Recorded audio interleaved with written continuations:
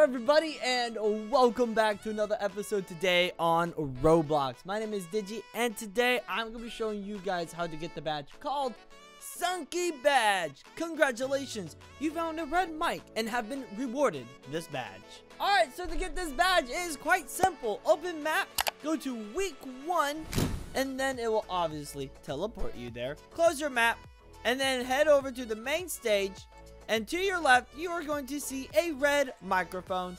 Bump into it or into the invisible box, and you'll get Sunky! Now, to get to the badge morphs, go back to map selection and just scroll on down to badge morphs. I know a lot of you have been asking me, Digi, how do I get to the badge morphs?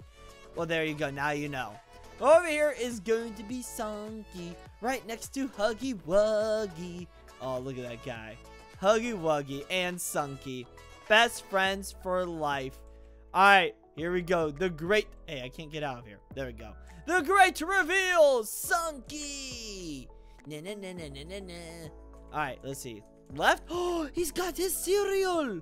What, what is that? What's in the cereal? Is that a bunch of, like, just gold rings? Nice, Sunky. Wow, you're very flexible. Up and then right. This one and the left. Left and down are my favorite ones. Look at that.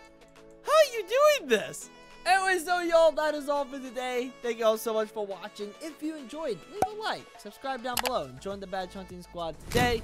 Also, go ahead and use star code DIGI whenever you buy Robux or Premium. And if you want, look at my Roblox group, my Twitter, and my Discord. The links are in the description down below. I love you guys, and as always, stay awesome, stay cool, and good luck badge hunting. Bye-bye.